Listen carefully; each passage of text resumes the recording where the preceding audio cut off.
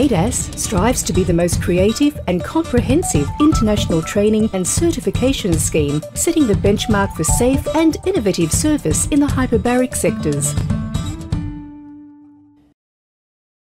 An ADAS qualification is recognised in almost every country of the world due to the mutual recognition arrangements established with other certifying agencies. ADAS courses are developed with extensive industry consultation, improved continually, based on your feedback and ongoing auditing activities, and are benchmarked against national and international standards and practices.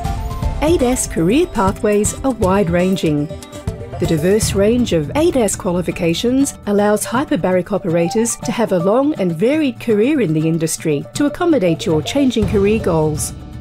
ADAS is directed by a board of industry experts who inform and monitor ADAS operations. ADAS works hard to improve the safety of hyperbaric operations and is committed to lowering the incidence of workplace injuries and fatalities.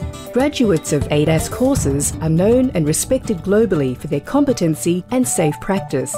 Just as in other high-risk industries such as construction and aviation, ADAS licence holders need to demonstrate continued proficiency to maintain competency. ADAS licences must be renewed on a five-yearly basis. To renew your ADAS licence, you will need to maintain a formal logbook. This is a requirement of the Australian Standards for Occupational Diving and a requirement under offshore legislation. Logbooks can be ordered via the ADAS office.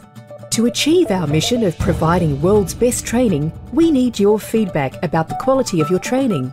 At the end of your course, you will be issued a student course evaluation form. ADAS will also email an Australian Quality Training Framework online survey for you to complete shortly after you've finished your course. Your feedback is used to improve the design, content and delivery of ADAS courses. Please visit the ADAS website for information about courses, careers and training and assessment policies.